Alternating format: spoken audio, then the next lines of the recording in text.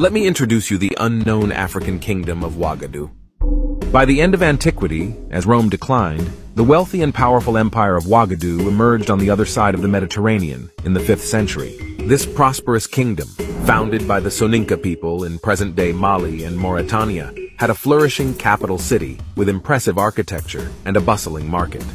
Located on the main routes of the trans-Saharan trade, the empire engaged in commerce of ivory, salt, cola nuts, fabrics, and most importantly, gold, its primary wealth.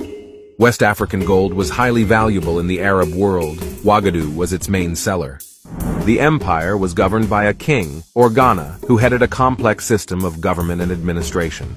To ensure the maintenance of records for the empire's administration and government, a written language called Manda was invented. At its peak around the year 1000, the Wagadu Empire had a standing army of 200,000 men equipped with iron weapons.